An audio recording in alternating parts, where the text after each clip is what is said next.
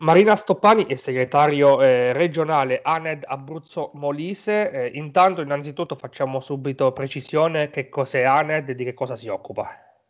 ANED è un'associazione composta da noi, dai dializzati e dai trapiantati, per cui io stessa sono una trapiantata, ho fatto cinque anni di dialisi, è un'associazione OLUS nazionale.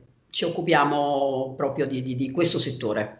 Beh, considera che noi andiamo, i dializzati vanno in ospedale tre volte alla settimana. Si trattengono lì eh, per la terapia dialitica almeno quattro ore, quattro ore e mezza, per cui sono persone completamente e totalmente esposte. In più non abbiamo i dati. Noi per sentito dire qualcuno ci chiama, no, si è contagiato questo, si è contagiato quell'altro, però in realtà noi non abbiamo dati certi e questo è anche una cosa che ci preoccupa e ci allarma eh, parecchio, ecco.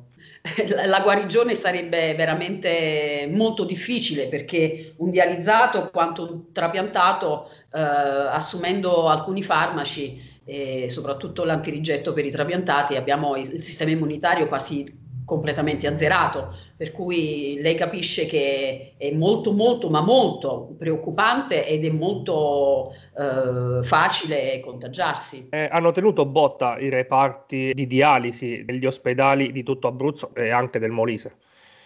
Sì, sì, hanno tenuto botta, ma insomma non sono stati aiutati. Diciamo che eh, hanno tenuto per, per, la grande volontà degli operatori e anche per, per uh, le, i trapiantati che si sono completamente affidati, perché non siamo stati aiutati dallo Stato. Ci sono stati momenti in cui a Vasto hanno chiamato che usavano i calzari eh, comprati dai cinesi per farsi le mascherine per cui è veramente una, una situazione all, allarmante e preoccupante. Il, il, il, grido di aiuto dei dializzati lo ha raccolto attualmente solamente l'ANED, perché ci sta mandando purtroppo poche, che siano 2000 mascherine, per poterle distribuire ai pazienti che comunque li devono comprare. Non tutti sono in grado di andarsi a cercare la mascherina, insomma, e comunque di spendere dei soldi, anche perché si sa che sono aumentate tantissimo.